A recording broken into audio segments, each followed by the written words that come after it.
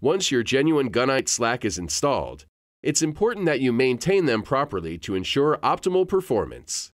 Gunite automatic slack adjusters are factory lubricated and sealed to help protect against dirt, road debris, water, and other corrosive elements. However, we recommend periodic lubrication at least every six months or 50,000 miles using an NLGI 1 or 2 grade grease that has an operating range that reaches as low as minus 40 degrees Fahrenheit. Do not use greases containing molybdenum disulfide, MOLY for short, as these can negatively affect the function of key friction components and reduce the slack's operating efficiency. To maintain their performance, foundation brakes should be checked every 3 months or 25,000 miles.